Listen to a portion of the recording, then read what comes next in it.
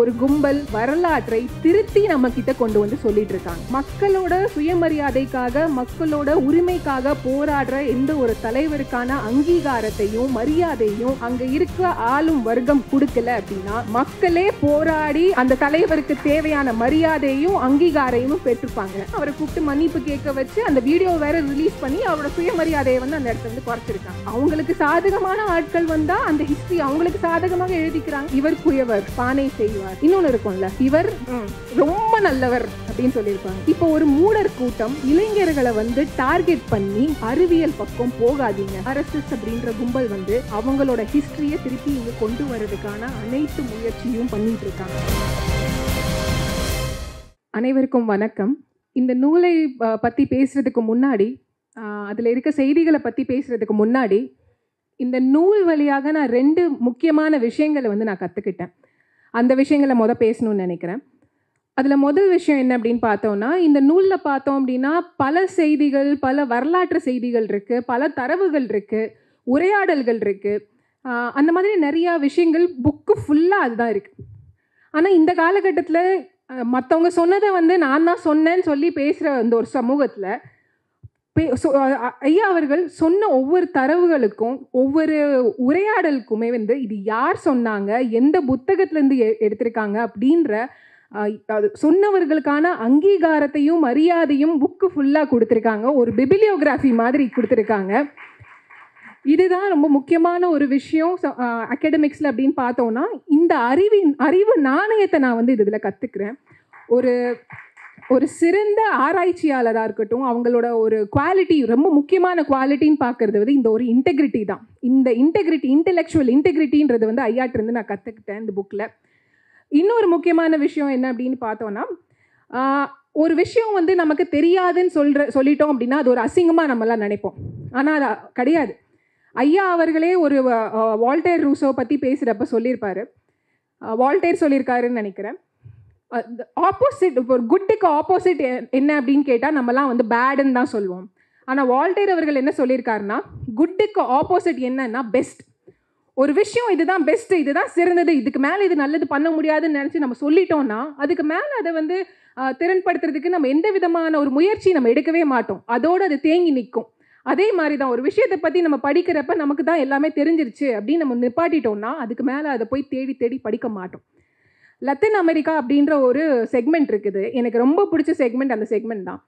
அதை பற்றி ஐயா எழுதுகிறப்பையும் பேசுகிறப்பையும் சரி ஐயா அவர்கள் சொல்லியிருப்பார் லத்தின் அமெரிக்காவோட இலக்கியத்தை பற்றி நான் இன்னும் படிக்கலை. நான் அதை படிச்சுட்டு அதுக்கான எஃபர்ட்டை போட்டுட்டு நான் அதை பற்றி தனியாக பேசுகிறேன் லத்தீன் அமெரிக்காவோட வரலாற்றை பற்றி இன்றைக்கி நான் பேசுகிறேன் அப்படின்றது இன்னும் ஐயா அவர்கள் சொல்லியிருப்பார். நமக்கு தெரியலன்ற ஒரு விஷயத்தை ஒத்துக்கொள்றதுக்கான தைரியம் இருக்குல்ல அது ரொம்ப ரொம்ப முக்கியம். அது ஐயா கிட்ட இருந்து இந்த விஷயத்தை நான் கற்றுக்கிட்டேன் ரொம்ப நன்றிங்க ஐயா. இந்த நூலோட நோக்கம் அப்படின்றது வந்து இந்த புக்கில் வந்து பல இடத்துல வந்து ஐயா அவர்கள் சொல்லியிருப்பார். ஐயா அவர்கள் ஒரு சின்ன பையனாக இருக்கிறப்ப பேரறிஞர் அண்ணா அவர்கள் பே அவங்க பேச்சை கேட்டு இந்த உலக அரசியலை கற்றுக்கிட்டு இருந்திருக்கார். எல்லாரும் நம்ம பேசுகிறது கேட்போம் அப்படியே விட்டுருவோம் அவ்வளோதான் நல்ல நாளைக்கு நம்ம ஒரு இடத்துல பேசுகிறோன்னா அதுக்கு பயன்படுத்துவோம். ஆனால் ஐயா அவர்கள் என்ன யோசிச்சார் யோசிச்சிருக்காங்க அப்படின்னா நான் கற்றுக்கிட்ட விஷயம் மற்றவங்களுக்கும் போய் சேரணும் அடுத்த தலைமுறைக்கு போய் சேரணும் அப்படின்னு யோசிச்சு தான் இந்த அறிவு தேடல் அப்படின்ற பயணத்தை வந்து ஐயா வந்து தொடங்கியிருக்கார். இந்த அறிவு தேடல் இப்போ நம்மளோட அமைச்சர் அவர்கள் கூட சொன்னாங்க படிக்கிறதுக்கான ஹேபிட் வந்து ரொம்ப குறைஞ்சி போச்சுன்னு சொன்னாங்க. படிக்கிறதுக்கான ஹேபிட் இல்லைனாலுமே இந்த இதில் இருக்க எல்லா ஸ்பீச்சஸுமே பார்த்தோன்னா யூடியூப்பில் அறிவு தேடல் அப்படின்ற ஒரு சீரீஸே இருக்குது இன்றைக்கி இளைஞர்களுக்கு போய் சேர சேர விதமான ஒரு ஒரு ஒரு ஒரு விஷயமாகவும் அது அப்படி இருக்குது ஸோ அது மட்டும் இல்லாமல் ஐயா இன்னொரு இடத்துல சொல்லியிருப்பாரு நீங்கள் வந்து ஒரு விஷயத்தை பற்றி தெரிஞ்சுக்காம விட்டுட்டீங்க அப்படின்னா வந்து நீங்கள் வந்து ஒரு உண்மையில் இருந்து ரொம்ப தள்ளி போயிடுவீங்க. உங்களை வந்து நான் நீங்கள் அப்படியே இருந்துட்டீங்க அப்படின்னா ஆற்றோட அப்படியே அந்த ஃப்ளோலேயே போயிடுவீங்க. புதுசாக புதுசாக போய் தேடி படிக்க மாட்டீங்க. நாங்கள் உங்ககிட்ட என்ன சொல்கிறோன்னா எதிர்நீச்சல் அடிங்க. போய் உண்மை என்னன்னு கற்றுக்கோங்க அப்படின்னு ஐயா சொல்கிறார் இந்த காலகட்டத்தில் அது ரொம்ப முக்கியமான விஷயமா நான் ஏன் பார்க்குறேன்னா நம்ம எல்லாருக்கும் தெரிஞ்ச ஒரு விஷயம் என்னன்னா ஒரு கும்பல் வரலாற்றை திருத்தி நம்ம கிட்ட கொண்டு வந்து சொல்லிட்டு இருக்காங்க அப்படி திருத்தி அவங்க அவங்களுக்கு சா- சாதகமான வரலாற்றை தான் மக்கள் கிட்ட கொண்டு போய் சேர்த்துட்டு இருக்க இந்த காலகட்டத்தில் தேடி போய் உண்மையான வரலாற்றை கண்டுபிடிக்கிறதுக்கான ரெஸ்பான்சிபிலிட்டி நம்ம எல்லார்கிட்டேயும் இருக்குது அந்த ஒரு வேலையை ரொம்ப ஈஸியாக மாற்றி கொடுத்த புக்கு தான் இந்த அறிவு தேடல் புக்கு அடுத்து அடுத்த அடுத்து ஐயா இதில் பேசியிருக்க விஷயங்களெல்லாம் பார்த்தோம் அப்படின்னா வரலாற்றை மட்டும் பேசலை. வரலாறோட வரலாற்றில் இருந்த அரசியலை பேசியிருக்காங்க. அதில் இருந்த சயின்டிஃபிக் டெம்பர் அப்படின்னு சொல்லுவோம் இல்லையா? அந்த அறிவியலை பற்றி பேசியிருக்காங்க. அது மட்டும் இல்லாமல் ஒரு புக்கு வந்து நமக்கு வந்து தரவுகளை மட்டும்தான் கொடுக்கும். அது மட்டும் தான் செய்யும். ஆனால் இந்த புக்கு எப்படி இருக்குன்னா அந்த வரலாற்றை எப்படி படிக்கணும் அப்படின்றதையும் சொல்லி கொடுக்குது. நம்ம ஸ்கூல்லலாம் படிச்சிருப்போம். அலெக்சாண்டரு இல்லை ராஜராஜ சோழன் எல்லாரை பற்றியும் ஹிஸ்ட்ரியில் படிச்சிருப்போம். படித்தது வந்து சும்மா ஒரு ஹிஸ்டாரிக்கல் ஃபேக்டை படிச்சுட்டு அப்படியே விட்டுருப்போம். அதுக்கப்புறம் அதை பற்றி யோசிச்சே பார்த்துருக்க மாட்டோம். ஆனால் இந்த புக்கில் படிக்கிறப்ப தான் நமக்கு தெரியுது வரலாற்றை படிக்கிறதுக்கான காரணமே என்னென்னா வரலாற்றுலேருந்து நம்ம வந்து சில பாடங்கள் கற்றுருப்போம் அதுக்கான வரலாற்றில் ந நடந்த நிகழ்வுகள்லேருந்து ஒரு வெளிப்பாடு வந்திருக்கும். அதை நம்ம இப்போ இருக்க டைமில் நம்ம ஒரு சுச்சுவேஷனில் இருக்கோம்னா அதோட அவுட்கம்மை எப்படி இதில் வந்து நம்ம யூஸ் பண்ணுறது நமக்கு ஒரு பிரச்சனை இருக்குன்னா அந்த அந்த லெசனை வச்சு அந்த பாடத்தை வச்சு இப்போ இருக்க ப்ராப்ளமை எப்படி சால்வ் பண்ணுறது அதுக்கு தான் வரலாறு ரொம்ப முக்கியம் அப்படின்னு வந்து ஐயா அவர்கள் சொல்லியிருக்காரு. அதுக்கு பல உதாரணங்கள் அவர்கள் வந்து ஐயா அவர்கள் வந்து கொடுத்துருக்காங்க. அதில் சில உதாரணங்கள் நான் சொல்லணும்னு நினைக்கிறேன். சமீபத்தில் அதிமுகவோட முன்னாள் அமைச்சர் உதயகுமார் அவர்கள் வந்து சேலத்தில் வந்து ஒரு பேட்டி கொடுத்துருக்காரு.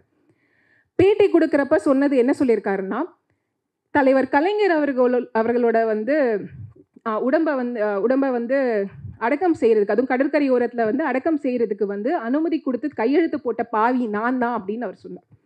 இது ஒரு நிகழ்ச்சி.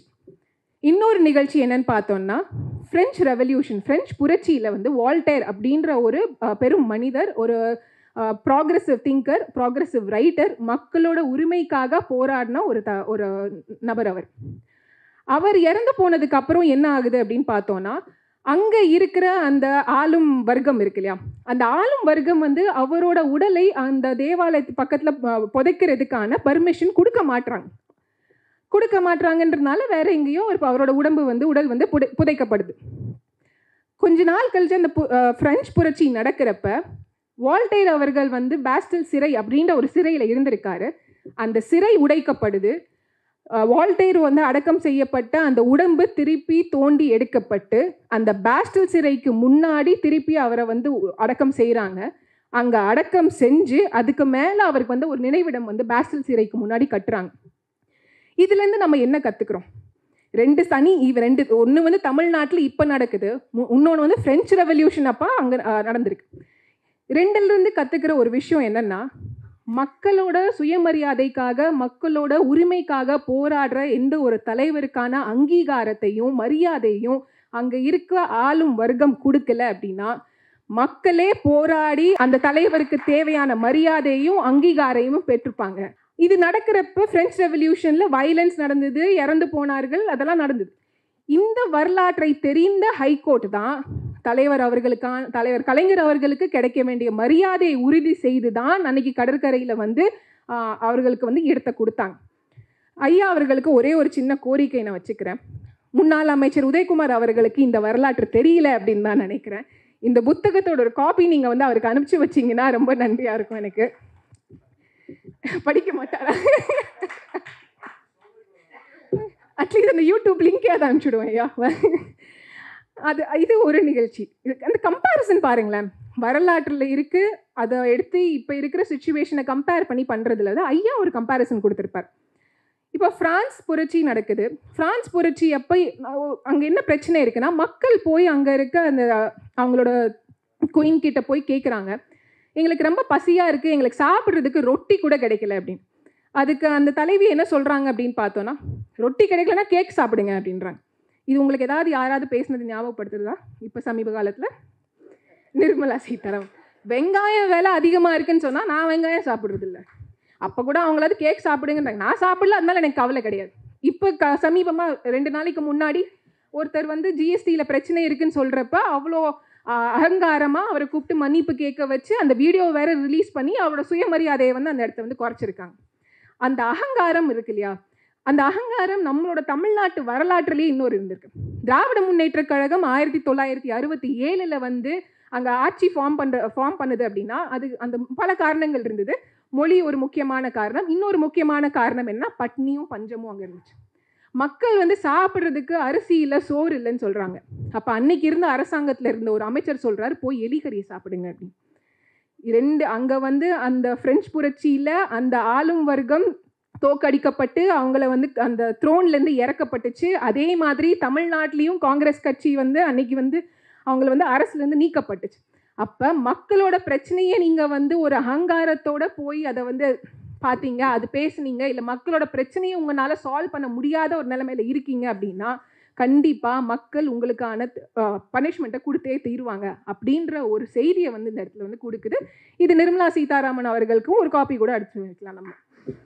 அடுத்து இன்னொரு நல்ல எக்ஸாம்பிள் பார்த்தோன்னா பிரேசில். ரொம்ப அழகாக சொல்லியிருப்பாங்க ஐயா அவர்கள். நான் வீடியோஸ் நிறையா பார்த்தேன். அந்த வீடியோஸில் ஐயா அவர் பேசுகிற துணி இருக்கு இல்லையா? நம்ம எல்லாரும் ஸ்கூல்லேயும் காலேஜ்லேயும் நமக்கு ஒரு டீச்சரோ ப்ரொஃபஸரோ இருப்பாங்க. நம்ம மொழியில் ஒரு பாசத்தோட வந்து நம்மக்கிட்ட ஒரு விஷயத்த சொல்லுவாங்க அந்த டீச்சர் தான் நமக்கு ஃபேவரட் டீச்சராக சாகிற வரைக்கும் இருப்போம். அவங்க சொல்கிறதெல்லாம் நமக்கு ஞாபகம் வேறு இருக்கும். அப்படி அந்த தொனியில் அந்த மொழியில் தான் ஐயா அவர்கள் வந்து பேசியிருக்காங்க இந்த பேச்சுகளை. எழுத்துமே அப்படி தான் இருக்குது டிக்டேட்டர்ஷிப் அப்படின்ற டிக்டேட்டர்ஷிப் பற்றி ரொம்ப சர்வாதிகாரத்தை பற்றி ஐயா அவர்கள் அழகாக சொல்லியிருப்பாங்க. எந்த ஒரு சர்வாதிகாரமும் வந்து கண்டிப்பாக பெர்மனெண்ட்டாக இருக்காது. அது வீழ்ந்தே தீரும் அப்படின்றத ஐயா சொல்லியிருப்பாரு. அதுக்கு எக்ஸாம்பிள்ஸ் வந்து பிரசிலில் வந்து வார்காஸ் அப்படின்ற ஒரு டிக்டேட்டர் அவர் வந்து எடுத்தோன்னே டிக்டேட்டர் ஆயிடுறாரா அப்படின்னா சர்வாதிகாரராக ஆயிடுறாருன்னா கிடையாது. ஆரம்பத்தில் ஒரு புரட்சி பண்ணுறாரு அதுக்கப்புறம் ஒரு அதிபர் ஆகிறாரு. ஆட்சியில் இருக்காரு. போ அதுக்கப்புறம் கொஞ்சம் டைம் ஆக ஆக அவர் ஒரு சர்கா சர்வாதிகாரியாக மாறுறார். அந்த ஒரு டிரான்சிஷன் நடக்குது. இதே மாதிரி இந்தியாலையும் நீங்கள் வந்து கம்பேர் பண்ணி பார்த்துக்கலாம். நான் இங்கே எதுவும் சொல்லலை பட் நீங்களே கம்பேரிசன் பார்த்துக்கோ.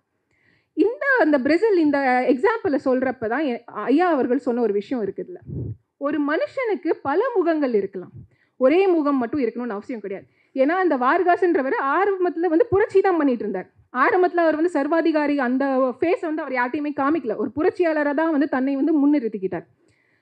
அதே மாதிரி லத்தின் அமெரிக்காவில் பார்த்தோன்னா லத்தின் அமெரிக்காவில் கொலம்பஸ் அந்த ஹிஸ்ட்ரிலையும் பார்த்தோன்னா கொலம்பஸ் அவர்களுக்கு வந்து பல முகங்கள் இருந்திருக்கு. ஆனால் நம்மளுக்கு வந்து நம்மளோட வரலாற்று புக்லேயோ சரி ப பெரிய பெரிய புக்ஸ்லேயோ சரி நமக்கு வந்து ஒரு முகம் மட்டும்தான் நமக்கு வந்து காட்டப்பட்டிருக்குது அதில் இப்போ வந்து ஐயா அவர்கள் வந்து கனடா போகிறாங்க கனடா போகிறப்ப அங்கே இருக்க பூர்வக்குடி மக்களை சந்திக்கிறப்ப பூர்வக்குடி மக்கள் கேட்குறாங்களாம் இன்னுமாயா கொலம்பஸ் தான் அமெரிக்காவை கண்டுபிடிச்சாருன்னு பிள்ளைங்களுக்கு சொல்லி கொடுத்துட்ருக்கீங்க அப்படின்னு. அதுக்கு ஐயா வந்து ஏன் கேட்டப்ப ஏன் அவன் வரதுக்கு முன்னாடி எங்களுக்கு இந்த நிலம் கிடையாதா? நாங்கள் என்ன கடலுக்கு கீழே போய் வாழ்ந்துட்டு இருந்தோம்? அப்படின்ற ஒரு கேள்வி கேட்குறாங்க அது மட்டும் கே கேட்டுட்டு விட்டாமல் அவர் வந்து அமெரிக்காவை கண்டுபிடிக்கவில்லை. அமெரிக்காவுக்கு வந்தாருன்னு வேணால் சொல்லுங்கள் இல்லை இல்லை வந்தான்னு வேணால் சொல்லுங்கள் அப்படின்ற அந்த வந்தான் வேணால் சொல்லுங்கன்ற சொல்கிறது ஏன்னா அந்த அந்த மக்களுக்கு வந்து அப்படி ஒரு கோபம் இருக்குது ஏன்னா அவங்க வந்து அவ்வளோ பிரச்சனைகள் அங்கே வந்து கொலம்பஸ் அவர்கள் அங்கே வந்ததுனால க பிரச்சனையை வந்து ஃபேஸ் பண்ணியிருக்காங்க. இன்னொரு முக்கியமான விஷயம் என்ன சொல்கிறாங்கன்னா அவங்க இப்படி வேணால் சொல்லிக்கோங்க. கொலம்பஸ் வந்து அமெரிக்காவுக்கு வரதுக்கான அந்த வழியை வந்து கண்டுபிடிச்சாருன்னு வேணால் சொல்லிக்கோங்க அப்படின்னு. மொழியோ எவ்வளோ ஒரு அன்னும் ஆச்சரியமான ஒரு விஷயமா இருக்குது பாருங்களேன். கொலம்பஸ் கண்டுபிடித்தா இருக்கும். கொலம்பஸ் அமெரிக்கா போகிறதுக்கான வழியை ஃபவுண்ட் அவுட் த ரூட் அப்படின்றதுக்கும் அவ்வளோ பெரிய வித்தியாசம் வரலாறே மாறுது அந்த இடத்துல.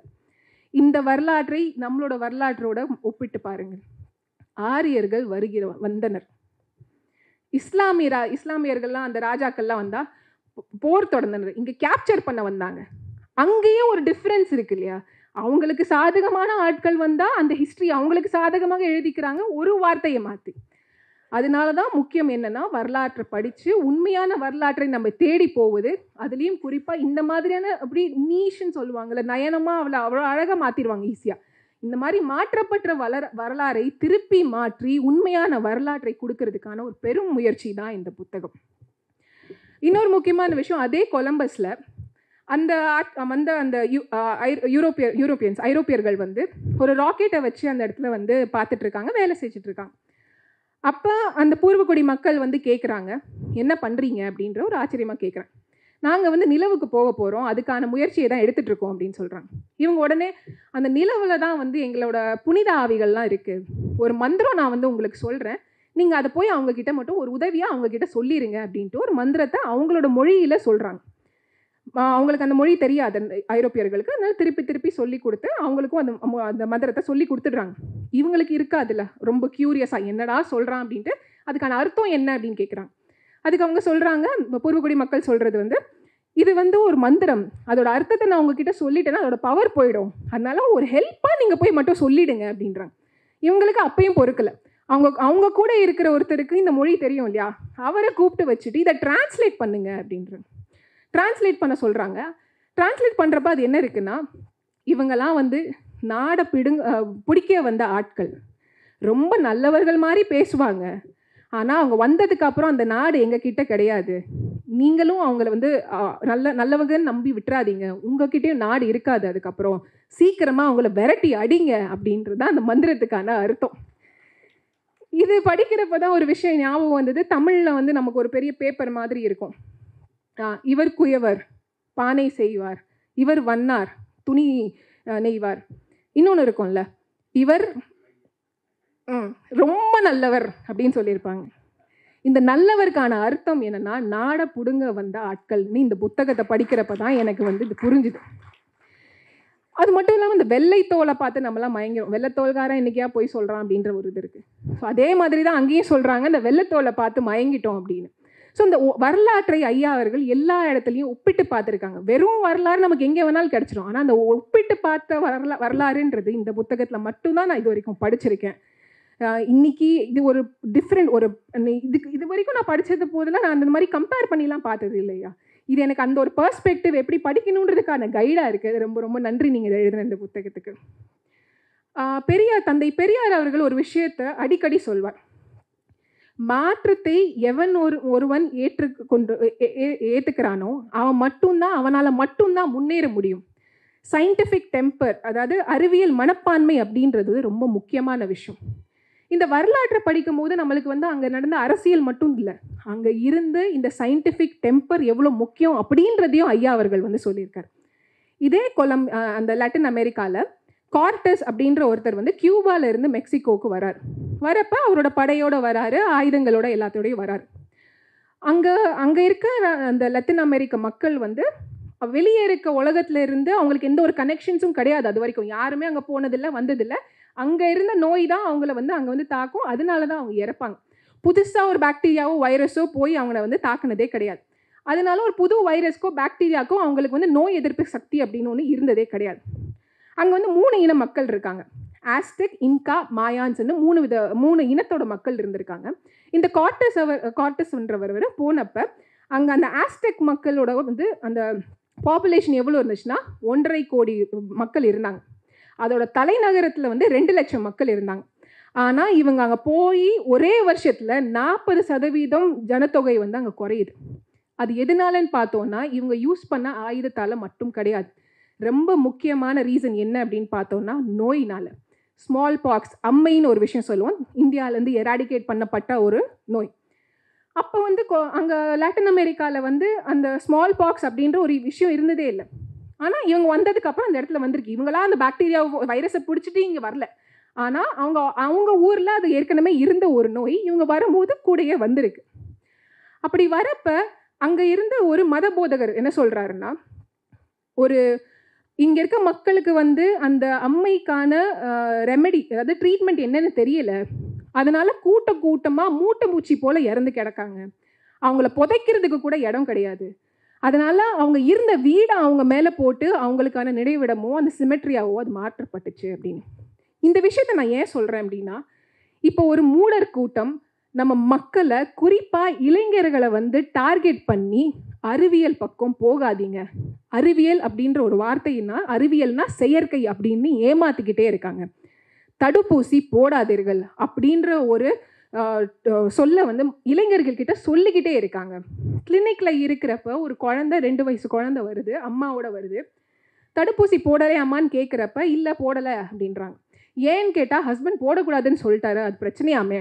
பிறந்ததுலேருந்து எந்த ஒரு தடுப்பூசியும் போடலை அந்த குழந்தைக்கு. நாளைக்கு அந்த குழந்தைக்கு டிபி வந்தால் ஈஸியாக காம்ப்ளிகேஷன் வந்து குழந்தை இறந்து போகிறதுக்கான சாத்தியம் ரொம்ப அதிகம். அப்போ மக்களுக்கிட்ட சயின்டிஃபிக் டெம்பர் இந்த அறிவியலை கொண்டு போய் சேர்க்கறதுக்கான க என்ன சொல்கிறது லெசன்ஸுமே வந்து இந்த புத்தகத்தில் இருக்குது இது வந்து அந்த கொலம்பியா அந்த லெ- லட்டின் அமெரிக்கா அந்த ஹிஸ்ட்ரியில் இருந்தே நம்ம பார்க்க முடியுது. அது ஏன் இப்போ இந்த காலகட்டத்தில் ஏன் ரொம்ப முக்கியம் அப்படின்னா இப்போ தான் நான் கீழே உட்காந்துருக்கும் போது அம்மா கேட்டாங்க. அப்ராட்லாம் போகிறதுக்கு போக போகிறீங்களா ஏதாவது ஐடியா இருக்கான்னு. இப்போ நம்ம வீட்டில் இருக்க குழந்தைகளாக இருக்கட்டும் இல்லை பெரியவர்களாக இருக்கட்டும் வேறு மாநிலத்துக்கோ வேறு நாட்டுக்கோ போயிட்டு வர்றதுக்கான சாத்தியம் அதிகம். இந்த போயிட்டு வர்றதுன்றது நடந்துக்கிட்டே தான் இருக்கும். புது புது நோய்கள் புது புது பாக்டீரியா வைரஸ்ன்றது வந்துக்கிட்டே தான் இருக்கும். அதுக்கு ஏற்ற மாதிரி தான் இங்கே இருக்கிற நம்மளோட சயின்டிஃபிக் கம்யூனிட்டி புது வேக்சின்ஸையும் ட்ரீட்மெண்ட்டையும் கொண்டு வராங்க. அதை போய் எடுத்துக்காதன்னு சொல்லிக்கிட்டு இருக்கிற மூடர் கூட்டத்துக்கிட்ட நம்ம கொண்டு போய் சேர்க்க வேண்டிய வரலாறு இந்த வரலாறு. வீட்டுக்கு வீட்லேயே பிரசவம் பார்த்துக்கோ. அவனுக்கு பிரசவம் அவன் தான் பிரசவம் அவன் தான் பிள்ளைக்கு இன்னும் பர்த் கொடுக்குறான்னா அவன் வீட்டிலலாம் பிரசவம் பார்க்க மாட்டான் அவன் பொண்டாட்டி தான் பொண்டாட்டின்ற ஒரே காரணத்தால வீட்டில் பிரசவம் பார்த்துக்கோ. அந்த லேடிஸ்க்கு இந்த சயின்டிஃபிக் டெம்பரை கொண்டு போய் சேர்க்கறதுக்கான ரொம்ப முக்கியமான புக்கான தான் இந்த புக்கை வந்து நான் பார்க்குறேன். அடுத்து ரொம்ப முக்கியமான விஷயம் என்ன அப்படின்னு பார்த்தோன்னா இதே மூடர் கூட்டம் வரலாறு தெரியாமல் தலைவர் கலைஞர் அவர்களை அசிங்கப்படுத்துகிறோன்னு நினச்சிட்டு அவரை வந்து சக்கர நாற்காலி சக்கர நாற்காலின்னு இன்னைக்கு சொல்லிக்கிட்டு இருக்காங்க.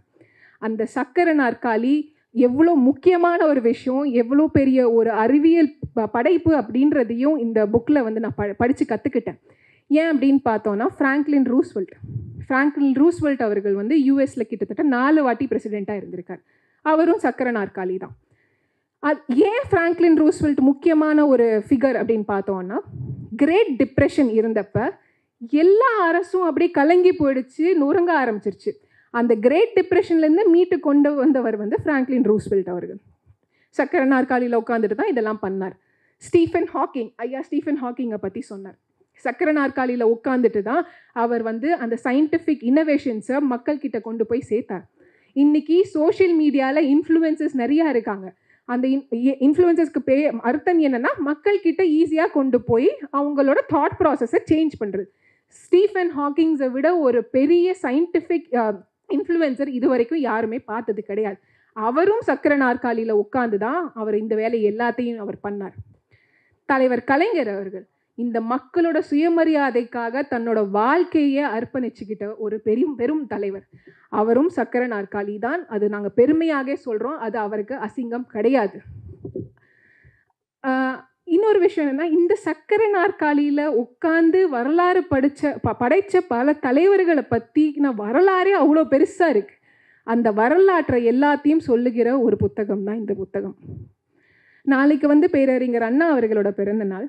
ரொம்ப ரொம்ப முக்கியமான தலைவர் அவர்கள் இந்த புக்கில் வந்து பெரியார் மற்றும் அண்ணா அவங்களோட ஒரு சின்ன குறிப்பு ஒரு இருந்துச்சு- அண்ணா பற்றி ஒரு ஃபுல் செக்மெண்ட்டே இருக்குது அந்த ஸ்பெசிஃபிக் குறிப்பு வந்து எனக்கு ரொம்ப பிடிச்சிருந்தது.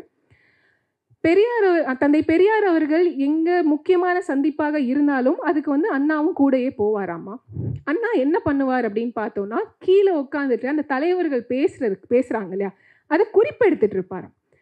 அந்த குறிப்பை அப்படி ரெண்டு முக்கிய தலைவர்கள் அண்ணல் அம்பேத்கர் ஜின்னா ரெண்டு பேரோட அந்த ச அந்த சந்திப்பு நடந்தப்பயுமே வந்து அண்ணா அவர்கள் இருந்தார். இந்த மாதிரி எடுத்த ஒரு குறிப்பு தான் ஐயாவோட ஒரு புக்காக வந்து வெளியே வந்துச்சு. அது என்ன புக்குனா இனி வரும் உலகம்.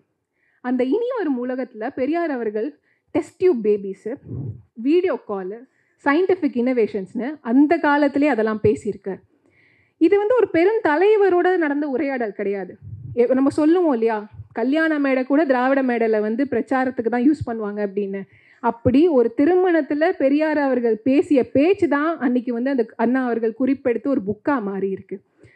இன்னொரு இன்சிடெண்ட்டு அண்ணா அவர்கள் வந்து பெரியார் கூட தானே இருக்கிறார். அப்போ வந்து வரதலா வரதராஜுலு நாயுடு அவர்கள் வந்து ஷியாம் பிரசாத் முகர்ஜியை வந்து பெரியாரை பார்க்கறதுக்காக கூட்டிகிட்டு போகிறாங்க அப்போ வந்து வரதராஜ நாயுடு வந்து அண்ணா அவர்களை பார்த்துட்டு இன்ட்ரடியூஸ் பண்ணி வைக்கிறார்.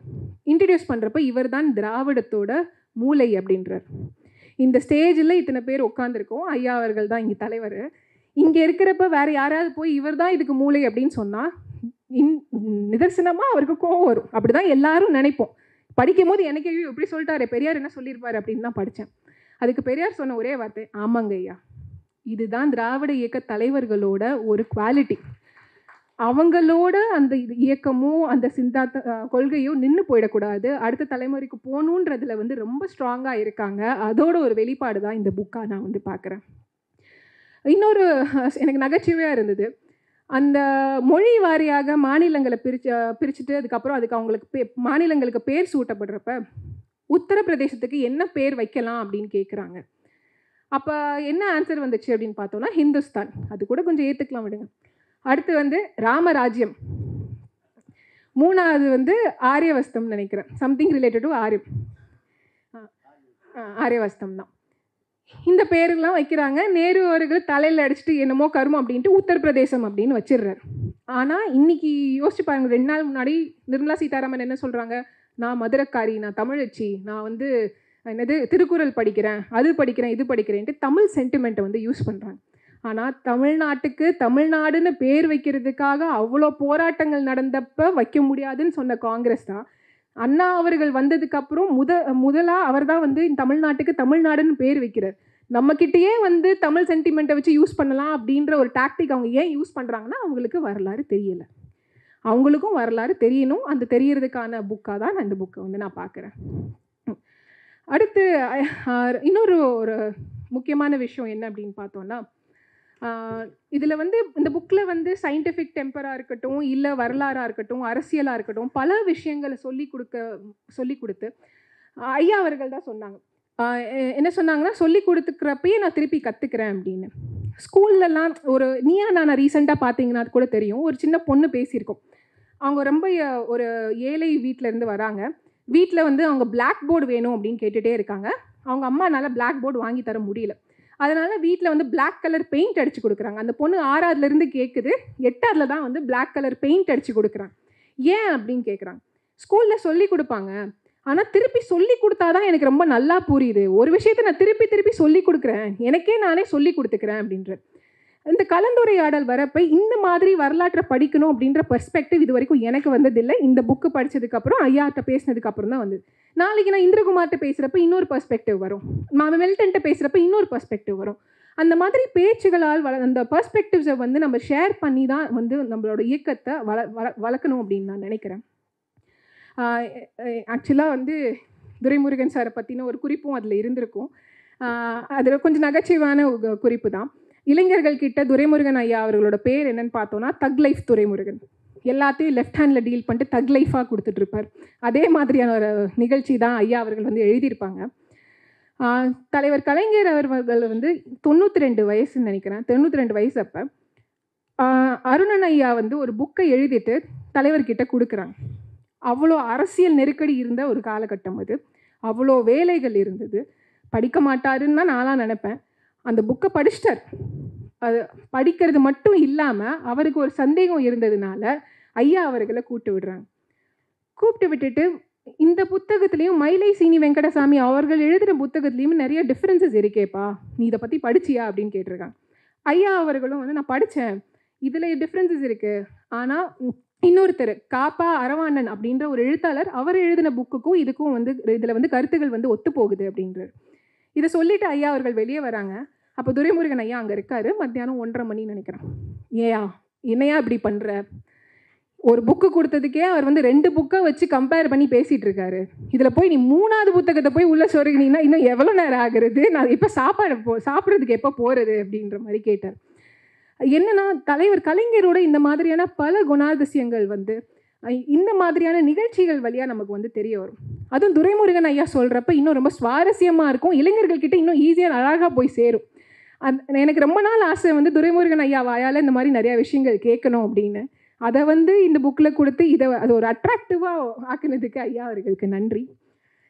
திராவிட தலைவர்கள் இயக்க தலைவர்கள் பார்த்தோன்னா எல்லாருக்குமே வந்து வரலாறு தெரிஞ்சவங்க.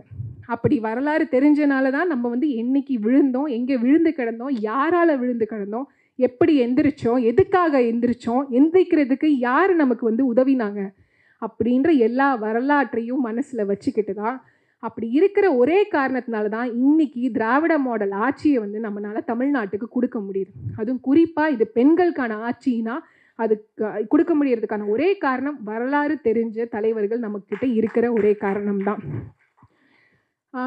ஐ சுபவி ஐயா பேசுகிற எந்த பேச்சாகவும் இருக்கட்டும். பெரியாரை பற்றி பேசாமல் இருக்கவே மாட்டார். ஒரு நாள் கூட பெரியாரை பெரியாரை பற்றி பேசாமல் இருக்கவே மாட்டார். அதே மாதிரி இந்த புக்கில் எல்லா பேஜுமே பெரிய தந்தை பெரியாரை பற்றி பேசிக்கிட்டே இருக்குது தந்தை பெரியார் தேவையில்லை அப்படின்றத வந்து இளைஞர்கள் கிட்ட கொண்டு போய் சேர்த்துட்ருக்க இந்த நேரத்தில் இந்த மாதிரி புத்தகங்கள் ரொம்ப ரொம்ப முக்கியம். வரலாற்றை இன்னும் படிப்போம். வரலாற்றை இன்னும் பேசுவோம். நம்ம வரலாற்றை வந்து இன்னொரு முக்கியமான ஒரே ஒரு விஷயம் வரலாறு ஹிஸ்ட்ரி ரிப்பீட்ஸ் இட் செல்ஃப்னு சொல்லுவாங்க. இப்போ வந்து யோசிச்சு பாருங்க இந்த ஆர்எஸ்எஸ் அப்படின்ற கும்பல் வந்து அவங்களோட ஹிஸ்ட்ரியை திருப்பி இங்கே கொண்டு வரதுக்கான அனைத்து முயற்சியும் பண்ணிகிட்ருக்காங்க அந்த நேரத்தில் நமக்கு நம்மளோட வரலாறு தெரியலை அப்படின்னா அவங்களோட வரலாறுக்குள்ளே நம்ம ஈஸியாக போயிடும். அதுக்காகவாது நம்ம படிக்க வேண்டியது ரொம்ப ரொம்ப கட்டாயம். அதே லெத்தின் அமெரிக்காவில் இந்த விஷயத்தை ஒரே ஒரு இதில் சொல்லியிருப்பாங்க. அந்த பூர்வக்குடி மக்கள் சொல்கிறாங்க அவங்க வந்தாங்க. அவங்க வந்தப்ப நாடு எங்ககிட்ட இருந்துச்சு. பைபிள் அவங்க கையில் இருந்துச்சு. ஆனால் இப்போ நாடு அவங்க கிட்ட இருக்குது பைபிள் எங்கள் கையில் இருக்குது அப்படின்னு. நம்ம எல்லாருக்கும் தெரியும் இப்போ ஹிந்துத்வா அப்படின்ற பேரில் ஹிந்துகள் ஒன்று சேருங்கள் அப்படின்னு சொல்லிட்டு கூச்சலை போட்டுக்கிட்டு பகவத்கீ பகவத்கீதையை எடுத்துகிட்டு நம்ம டோரெல்லாம் தட்டிக்கிட்டு இருக்காங்க. யார்கிட்ட இருந்து இந்துவை காப்பாற்றணுன்றதுக்குமான பதில் மட்டும் அவனுங்க கிட்ட இருந்திருக்க இருக்கவே இருக்காது. அப்படி ஒன்று சேருங்கன்னு சொல்லிட்டு வரப்ப இந்த வரலாற்றை ஞாபகம் வச்சுக்கிட்டு நம்மளோட சுயமரியாதை காக்கிறதுக்காக திராவிட இயக்க வரலாறை நம்ம எல்லாருக்கும் கொண்டு போய் சேர்க்கணும். சேர்க்கறதுக்கு இந்த மாதிரியான புத்தகங்கள் இன்னும் நிறையா வெளியே வரணும் அப்படின்னு சொல்லிட்டு இந்த வாய்ப்பை எனக்கு கொடுத்த ஐயா அவர்களுக்கு நன்றி சொல்லி விடைபெறுகிறேன். நன்றி வணக்கம்.